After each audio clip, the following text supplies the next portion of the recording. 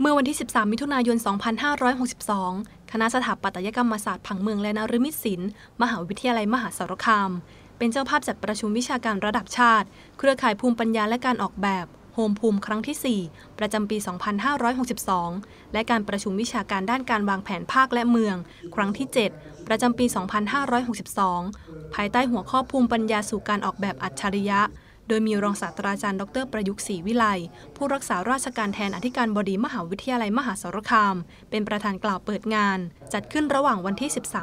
13-14 มิถุนายน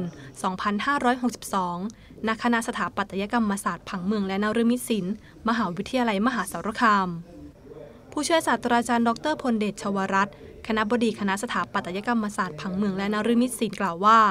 เครือข่ายโฮมภูมิเป็นการบันทึกความร่วมมือ ระหว่างสถาบันที่จัดการเรียนการสอน ทางด้านสถาปัตยกรรมศาสตร์และการออกแบบ ในภาคตะวันออกเฉียงเหนือ มีสมาชิก 8 สถาบันประกอบด้วย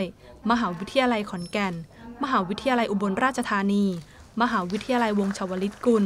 มหาวิทยาลัยกาลสินมหาวิทยาลัยราชภัฏนครราชสีมา มหาวิทยาลัยราชภัฏบุรีรัมย์ มหาวิทยาลัยเทคโนโลยีราชมงคลอีสานนครราชสีมา และมหาวิทยาลัยมหาสารคาม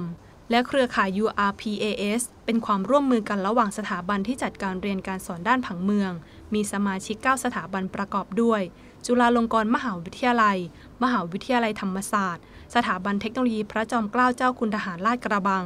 มหาวิทยาลัยขอนแก่น มหาวิทยาลัยศิลปากร มหาวิทยาลัยแม่โจ้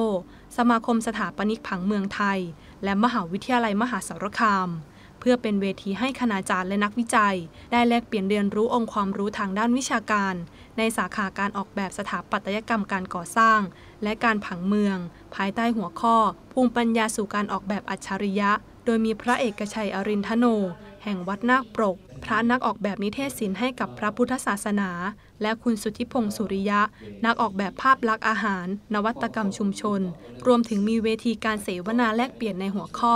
Wisdom for Smart Design and City โดยผู้ช่วยศาสตราจารย์ ดรธนาวุฒิบุญเหลือ Associate Professor ดร สุการชิดปัญญา จากมหาวิทยาลัยแห่งชาติลาว และดรนนท์อิมลานบินแซมสุดิน จากมหาวิทยาลัย UTM